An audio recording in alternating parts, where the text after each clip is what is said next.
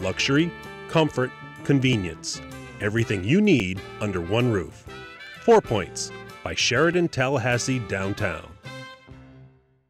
The Florida Current, an online news service smartly covering politics and policy. Subscribe for free daily alerts at thefloridacurrent.com.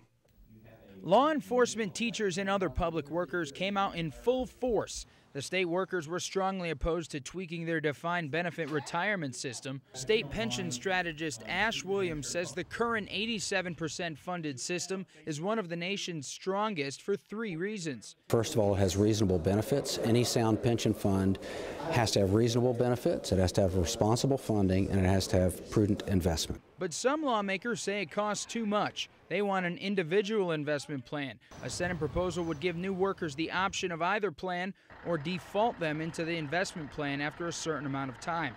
That doesn't sit well with the AFL CIO. By hook or by crook, a little bit by trickery, get people into the riskier investment plans, 401k type plans, as opposed to the defined benefit pension plan. The main concern of those opposed to the change was that with less money going into the current system, it would eventually lead to a collapse. Former state senator and current Teamsters rep Ron Silver says the math is simple. If you have less money coming in, then that destabilizes the plan. But Senator Rob Bradley voted for the plan.